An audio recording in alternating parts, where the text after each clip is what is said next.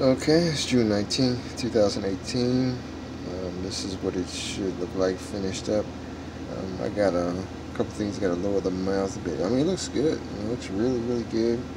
Uh, I need to lower the mouth a little bit, lower the eye a little bit. Um, I think for what the um, with the claws, I'm going to uh, do a base.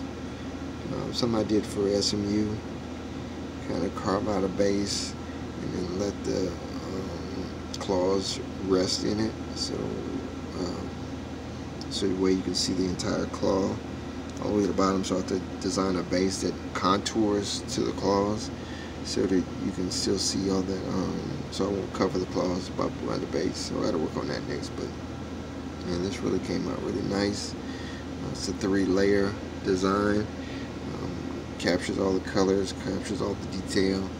Um, I think they're gonna like it. I think I don't think there's anything else that like this, so I think they should be impressed today. Um, so there's a few details to work out, but the next I'm gonna go ahead and, and work on the base.